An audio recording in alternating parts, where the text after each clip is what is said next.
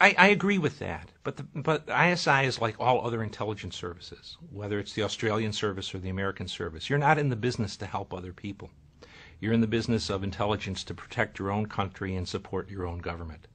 The idea that ISI is a rogue organization is popular, and even the Pakistanis promote it. But having worked with them for the better part of 20 years, they're a very disciplined, very able intelligence service. As I said, Pakistan doesn't leave the area when we do.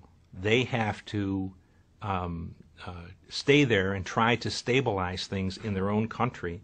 To do that, they believe at least, they have to help reestablish an Islamic country in Afghanistan, an Islamic government. So Afghanistan, if it looks to expand, will look north to Central Asia and not into Pakistan, which in turn allows the Pakistanis to move better than 100,000 troops off of the eastern border back to their western border with uh, uh, off the western border rather back to the eastern border against India, which, whether we like it or believe it or not, they think is their main enemy. So uh, I really find the situation in Afghanistan largely of our own making.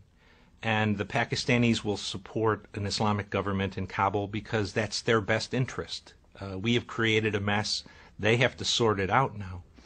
And it's really um, a disastrous situation for the United States, at least, because uh, the American people, I think, are going to believe bin Laden's dead, we're leaving Afghanistan, the problem is over.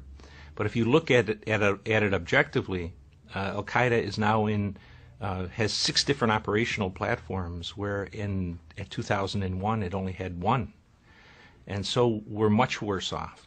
And we've also demonstrated to the Islamists that we are not. Um,